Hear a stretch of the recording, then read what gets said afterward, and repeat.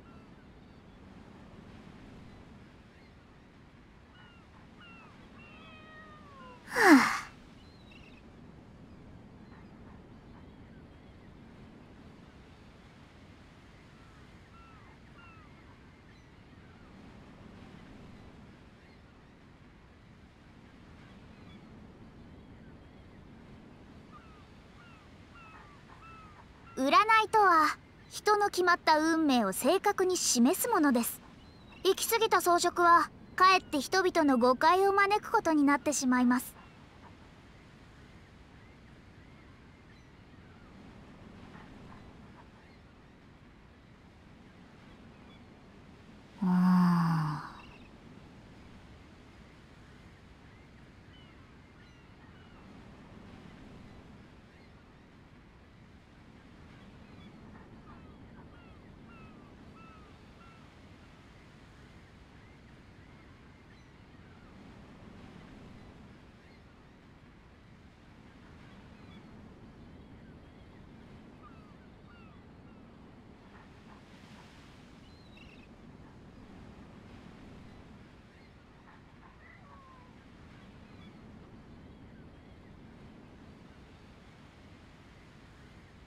物欲を抑えることは先生術師の修行の一部。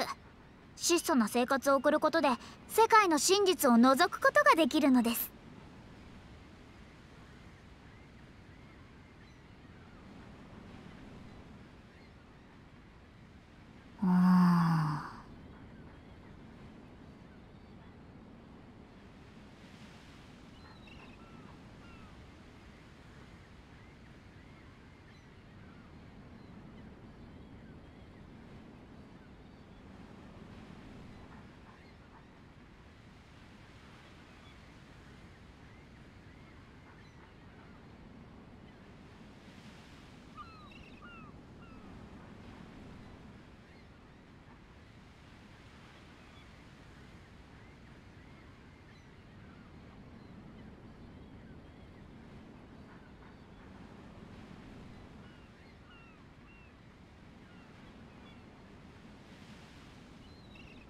唉。